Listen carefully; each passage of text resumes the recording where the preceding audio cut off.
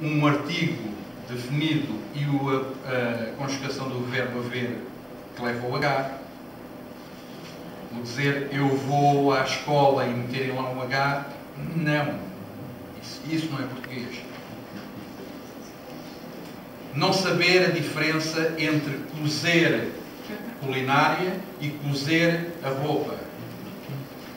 Quantas vezes nós vemos nesses tais diários que chamam poesia, nós dizer, nós vermos lá escrito cozer com S batatas. Ninguém coce batatas, ninguém mete agulha nas batatas.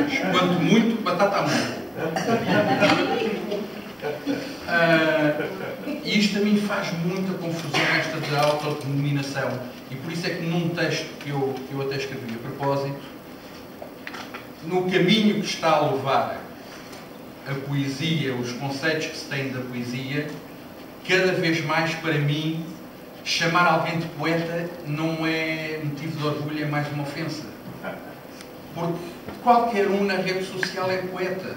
E depois acontecem coisas fantásticas, que é nós estarmos num evento literário, estamos a assistir ao lançamento de um livro, a uma apresentação de, de, uma, de uma antologia de uma coletânea, e vir alguém assim sorrotear aqui ao, ao ouvido, epá, este livro não devia ter saído porque ele não sabe escrever, ela não sabe escrever, isto não é nada.